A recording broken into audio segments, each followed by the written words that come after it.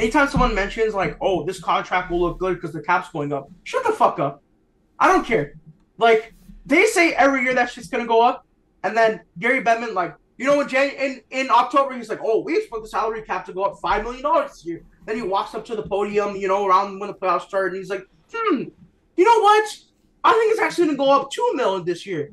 And then the draft comes, and he's like, "Hmm, you know what, guys? It's only gonna go up one mil this year." So Gary Bettman, the NHL, keep doing you. You're the greatest league in the world.